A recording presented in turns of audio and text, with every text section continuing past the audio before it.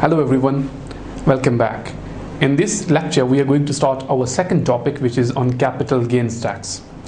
Now, we have been studying income tax, and the reason I have spent a lot of time studying income tax is because it is a one thing, it is a huge topic, and another thing that the things which we are going to study after income tax, most of the things will be exactly the same which we have already seen in income tax. So we won't be spending much time studying capital gains tax, corporation tax, inheritance tax or value tax. Some of the topics are already small anyway, but even if they are a little bigger, then we won't be spending much time on them, right? So, capital gains tax. What is what was income tax? Income tax was the tax which we pay on our income and which we pay on uh, our different sources of income like dividend income, interest income, uh, trading income, uh, stuff like that. Now, trading income, what was that? Whenever I am doing some business, and I will be paying a trading profit. I will be paying tax on the trading profit, which is income tax. Now, when I'm doing business, uh, I might be doing, uh, I might be selling something. So, if I am doing business of, uh, if I have an Apple store, I'm selling iPads and iPhones. That is my trading income.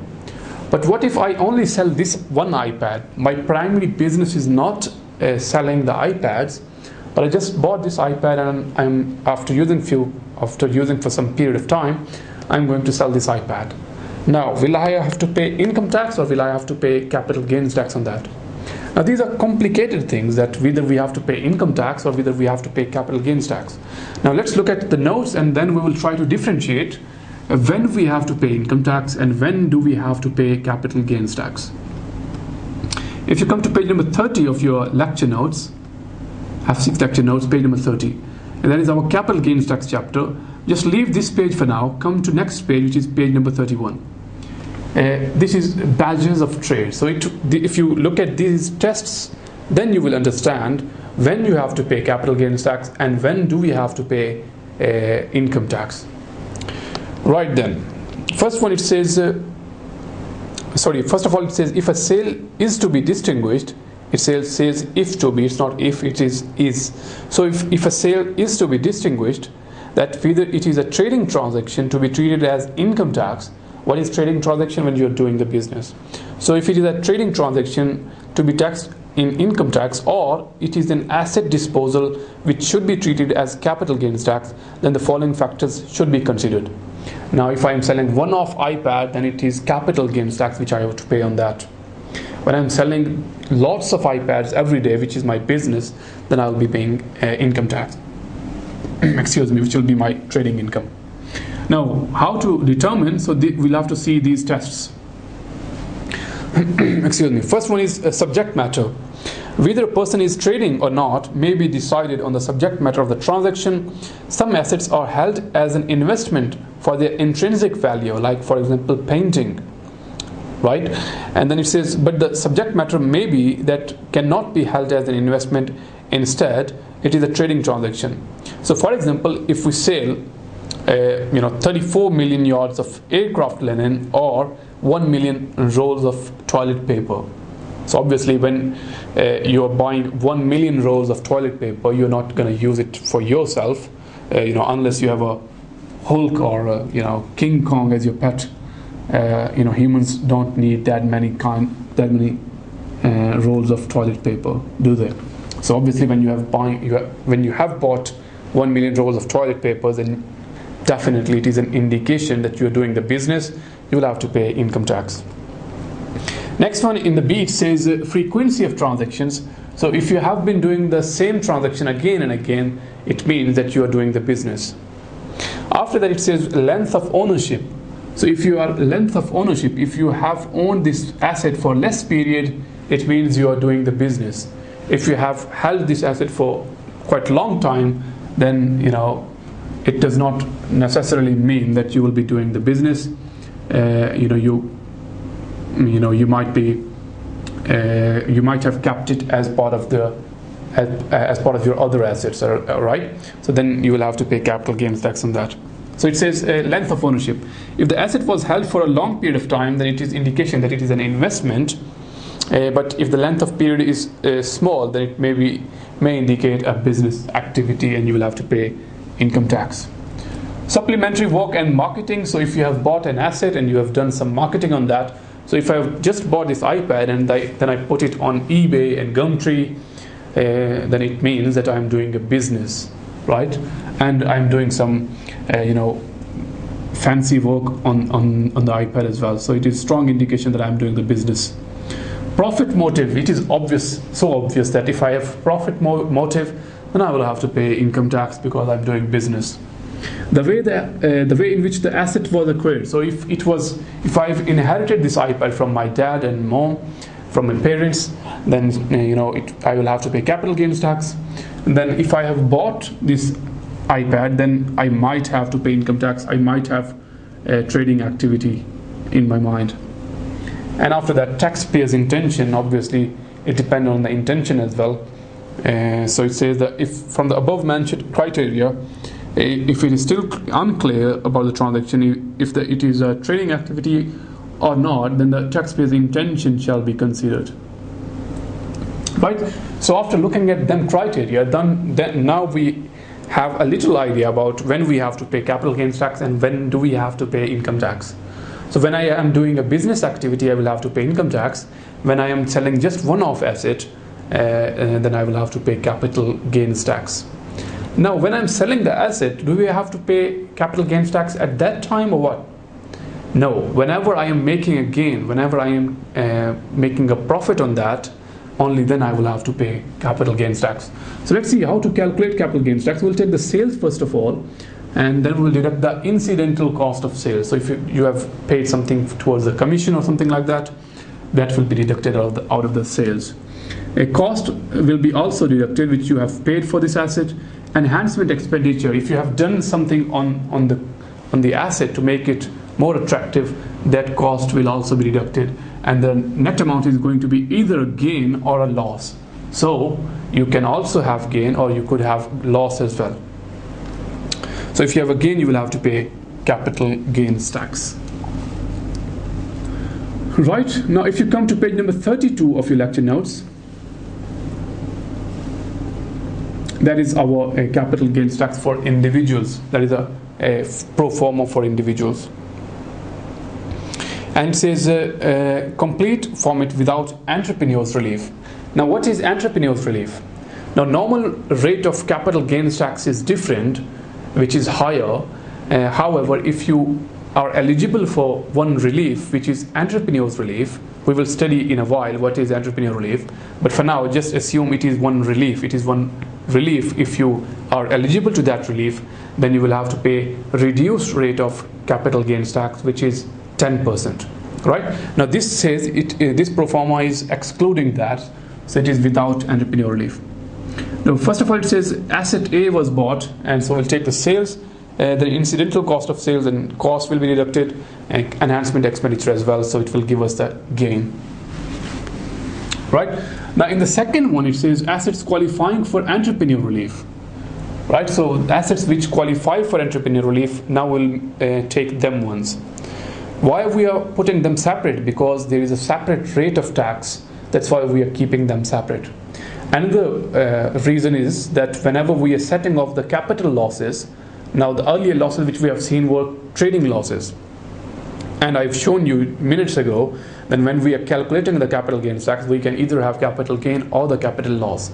So if we have a capital loss, we can set off that capital loss against future years capital gains or the current year or the previous year we will see later but we can set off the capital losses right so when we are setting off the capital losses so it is always wise decision it is always better to set off the capital losses against the highest paying capital gains right? So if we are setting the capital gains against the assets qualifying for entrepreneur relief, it is not good because assets qualifying for entrepreneur relief are subject to at the rate of 10% capital gains tax anyway. So th- they are at the reduced rate of capital gains tax. So we, we won't be setting off against them. We will be setting off against uh, you know higher highest paying uh, assets. So that's why we are keeping them separate, and uh, it is the same way we calculate the tax capital gains tax on that and after that it says current year loss so we'll deduct the current year loss out of it and after that it, tells us the uh, asset number 3 as well at asset number C and it is calculated in the same way uh, it is calculated in the same way too right?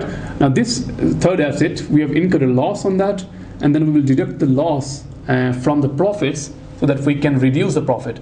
After that, it says less capital losses brought forward. So if you have any previous year's capital losses, that will be deducted out after that.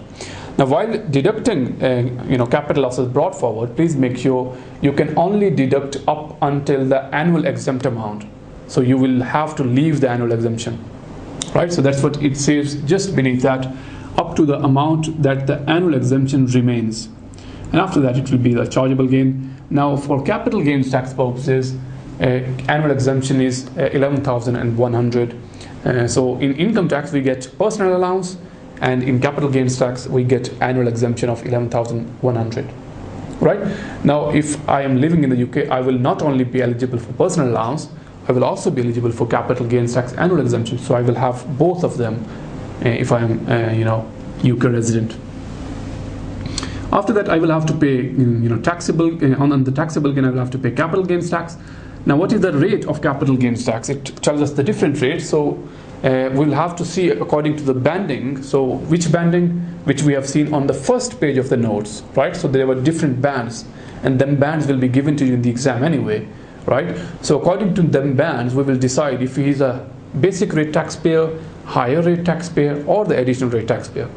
But please remember them bandings will first be allocated to the income tax then the any remaining amount will be allocated to the capital gains tax right? So say for example, if I have employment income of 10,000 pounds, that 10,000 pounds, uh, you know, uh, the basic rate band will use this 10,000 pounds first, then we will decide about the capital gain if I have any, then that capital gain will use the upper portion, uh, the higher uh, portion of the uh, bandings, right? So, you know, in most likely cases, the capital gains tax will go in the second band, like higher rate band or additional rate band right? So capital gains tax, unused remaining starting rate band at the rate of 10%, unused basic rate band at the rate of 10%, and if it is higher or additional rate band, it is at the rate of 20%. Please remember that uh, mm, if it is an entrepreneur relief, we will have to pay capital gains tax at the rate of 10%, right? All right then, after that it says capital gains tax payable by individuals on page number 33. First, the income tax bands are used to calculate the income tax. Any unused bands are used to calculate capital gains tax. Capital gains tax is 10% uh, at the rate of basic rate band and 20% on above that. And it is paid by 31st January after the tax year. So for 31st January, excuse me, for current tax year, it is going to be 31st January 2018. Right? Another thing as well, if you want to add here, if you want, if you have any uh, pen and paper with you, please make sure you add one thing here. It says 10% and 20% is the normal tax rate. Now, uh, another tax rate which is 18% and 28%, that tax rate is uh, applicable for the residential property. Right? If you want to write down, please make sure you write down. If it is a residential property, tax rate is 18% in the basic rate band and 28% in the high rate band. Right? So please make sure you write down if it is a residential property, tax rate is 18% up to the basic rate band, excuse me, and 28% uh, in the higher rate band. Only for residential property. Now, which will be the residential property that is used for residential purposes, but examiner won't examine in you know in complex scenarios. He will tell you if he examines anything like that, he will tell you in the question that it is a residential property However, for residential property, the rate, rates are 18% and 28%. And for rest of the capital gains tax, it is 10% and 20, 20%. And another tax rate as well, which I have told you earlier, if we, we qualify for entrepreneur relief, we will have reduced rate of capital gains tax, which is 10%.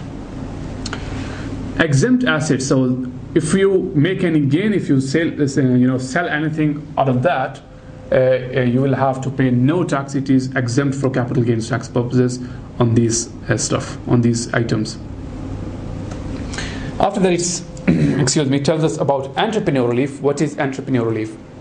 Now, entrepreneur, as you know, is a businessman, someone who has uh, you know started their own business. So, entrepreneur relief will be available on the gains of the following: disposal of whole or part of the business owned for at least one year before disposal.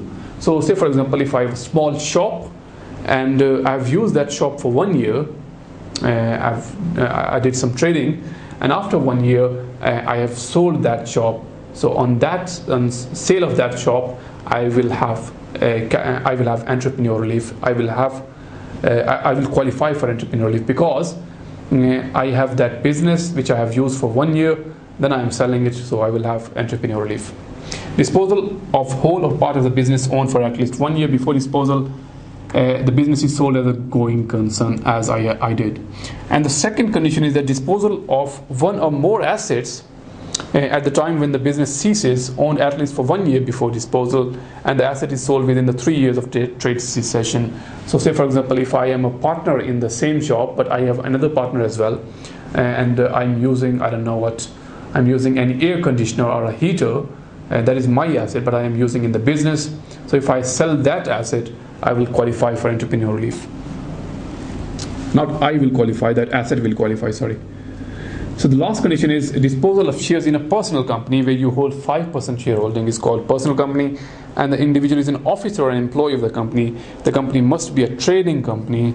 It cannot be investment company. So share disposed must be owned for at least one year before disposal. so That is also one of the conditions. So any of these conditions if any of these conditions apply, we will have an entrepreneur relief and we will pay tax at the rate of 10%. Right? Now, new thing is added, uh, which is investors relief. Now, for entrepreneur relief, the limit is 10 million pounds a year. Um, sorry, 10, 10 million pounds for lifetime. Uh, and uh, this limit is extended by the investors relief, which is a new thing. So, as you can see on the screen, entrepreneur relief excuse me, has now been extended to external investors in a trading company uh, which is not listed on the London Stock Exchange. And the investor relief has its own uh, 10 million lifetime limit with qualifying gains being taxed at the rate of 10%. Right? So, in, under the investor relief as well, tax rate is at the rate of 10%. And uh, tax, uh, what is investor relief? where the shareholder buy in a company, where shareholders buy shares in a company which is not listed on the uh, London Stock Exchange. Right?